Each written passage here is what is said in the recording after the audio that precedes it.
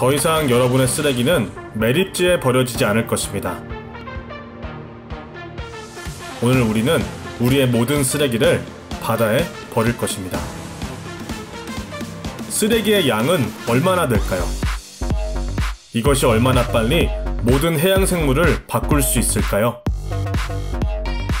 그리고 이 쓰레기가 결국 우리의 바다를 완전히 덮어버릴 수 있을까요? 만약 우리가 모든 쓰레기를 바다에 버린다면 어떤 일이 일어날지가 오늘의 If입니다. 아시다시피 우리 바다에는 이미 많은 쓰레기가 있습니다. 하지만 여러분이 그걸 바꿀 수 있습니다.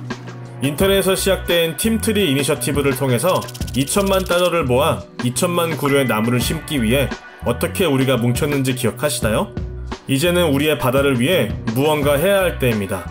teamc.org를 방문하시면 그곳에서 여러분의 1달러로 우리 바다에서 1파운드의 쓰레기를 치울 수 있습니다. 그리고 만약 여러분의 1달러의 여유가 없으시다면 이 비디오를 공유해 주심으로써 소식을 전해주세요. 바다에서 3천만 파운드의 쓰레기를 함께 치워보겠습니다.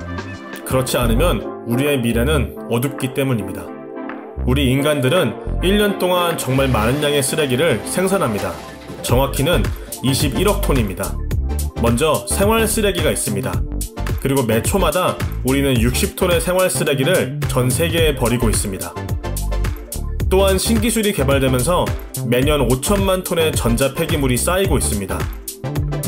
그리고 악명 높은 플라스틱이 있습니다. 대부분의 플라스틱 재료들은 분해되는 데 수세기가 걸린다고 합니다. 그리고 이미 거대한 더미가 그레이트 퍼시픽 쓰레기 패치에 떠다니고 있습니다.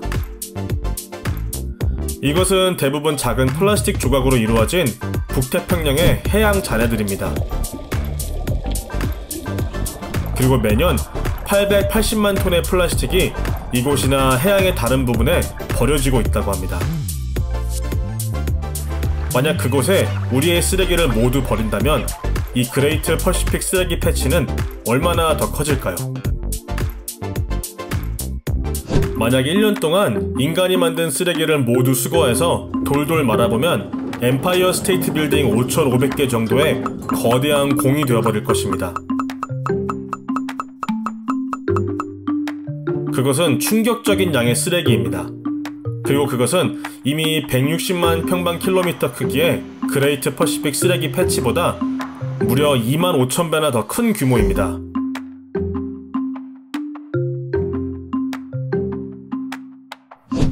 쉽게 말하면 우리가 1년 동안 만들어내는 쓰레기로 우리는 지구의 표면을 80번이나 덮을 수 있습니다. 만약 이 모든 폐기물이 바다에 축적된다면 그것은 일부 해양 생물을 파괴할 것입니다. 그리고 만약 우리가 우리의 바다를 쓰레기로 완전히 덮는다면 어떤 햇빛도 통과할 수 없을 것입니다. 그러면 우리는 우리의 산소 농도를 고갈시키고 해양 동물의 건강에 큰 영향을 끼치게 될 것입니다. 그리고 또한 바다에 보이지 않는 숲에도 영향을 줄 것입니다. 이 숲은 여러분이 숨쉬는 산소의 10%를 생성하는 박테리아입니다. 그것들을 잃는 것은 전 세계 생태계에 끔찍한 파급 효과를 가져올 것입니다. 이 모든 쓰레기는 또한 많은 종류의 화학 오염 물질을 전 세계로 운반하게 될 것입니다. 이 유독성 화합물들 중 일부는 수십 년 동안 바닷속에 머물게 될 것이고요. 이들은 지속적이고 생물학적 누적이며 독성이 있는 화합물로 알려져 있어 PBT라고 불리고 있습니다. 이 물질은 먹이사슬 위로 올라가는 능력 때문에 굉장히 위험합니다. 수은 농도가 높은 물에서 헤엄치는 작은 물고기를 생각해 보세요. 저 작은 물고기는 방금 지나가는 더 큰 물고기에게 잡아먹힙니다. 그리고 그 큰 물고기가 잡히고 그 큰 물고기를 먹으면 우리의 몸 안에 더 많은 수은이 생길 것입니다. 이 일은 인간에게만 일어난 일이 아닙니다. 고래와 같은 일부 해양 동물들은 이러한 독소를 세대에서 세대로 옮깁니다. 그리고 이것은 그들의 면역 체계를 약화시키고 심지어 번식에도 영향을 미칠 것입니다. 바다 자체가 정말 보기 흉한 광경인 것을 넘어 이 모든 것에도 많은 불행이 있을 것입니다. 전자제품 쓰레기에서 나오는 화학물질과 중금속은 중추신경계와 생식계에 영향을 미칠 것입니다. 그리고 여러분은 이미 몸 안에 미세 플라스틱을 가지고 있을지도 모릅니다. 미세 플라스틱은 5mm 미만의 플라스틱 입자입니다. 하지만 바다가 플라스틱으로 덮여 있다면 여러분은 그것들을 더 많이 소비하게 될 것입니다.